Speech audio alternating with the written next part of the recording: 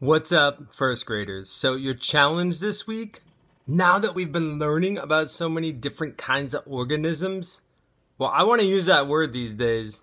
I mean living things, but we're such cool biologists and scientists that we know organisms are any living thing.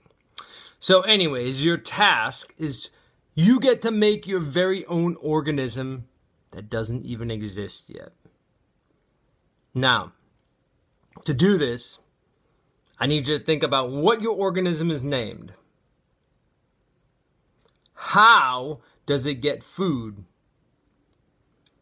How does it stay safe and warm?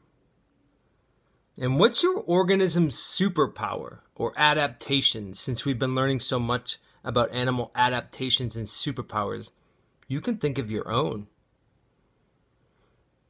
Good luck. I can't wait to see all your super creative ideas.